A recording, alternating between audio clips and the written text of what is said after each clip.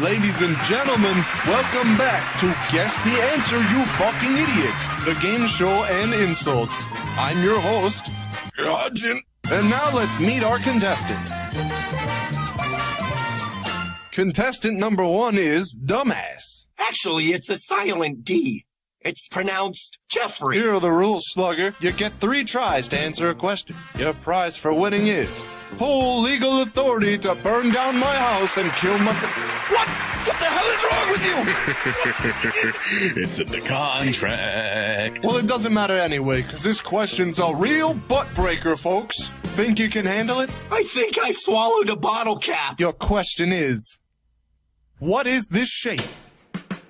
It's, um, um, er, uh, it's a, um, it's a, He will never get this question right. is it a circle? Ah, you idiot! It's a square! It's a square? No! Fuck! Why? Neat!